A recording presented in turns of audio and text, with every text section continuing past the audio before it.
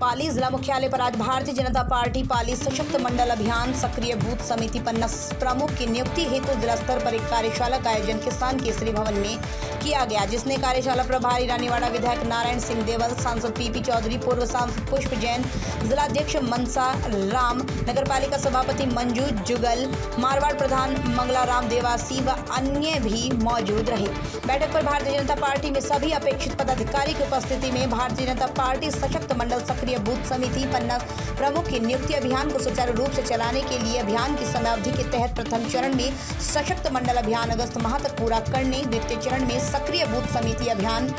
नवंबर 2021 तक पूरा कर अंतिम चरण में पन्ना प्रमुख नियुक्ति अभियान। फरवरी 2022 तक पूरा करने का योजनाबद्ध तरीके से टारगेट अपने अपने मंडल में प्रवास कर एक परफॉर्म के तहत कार्य करने के निर्देश दिए। भौगोलिक परिस्थितियों को ध्यान में रखकर मंडल का नक्शा तैयार